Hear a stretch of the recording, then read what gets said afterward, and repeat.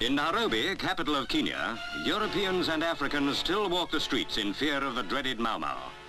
For it is that band of fanatics whose bloody deeds have cast a dark shadow across the face of Kenya.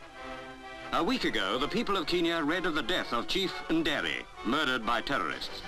And now, as they watch the funeral of this wise and peaceful chieftain, they wonder where next will the Mau Mau strike.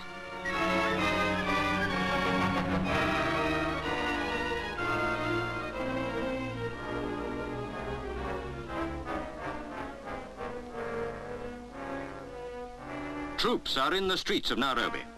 Sir Evelyn Baring, the governor, salutes the men of the Lancashire Fusiliers who have flown in to help clear his colony of the Mau Mau menace, which has struck fear into Kenya's very heart.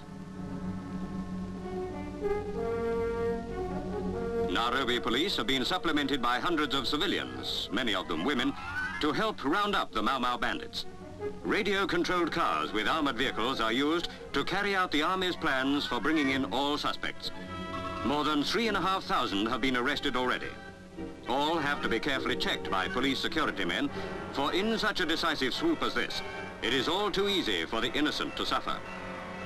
The objective of this secret society is to drive all white men out of Kenya. Not only fanatics fill the ranks of the Mau Mau, many have joined from fear.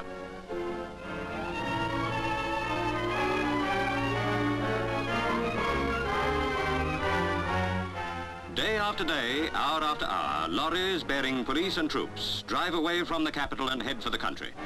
Along twisting roads, they travel deeper, ever deeper into the heart of the African jungle. For here, many of the Mau Mau are hiding. Overhead, aircraft join in the search. All who carry the mark of the Mau Mau must be hunted out so that peace may come to this troubled colony.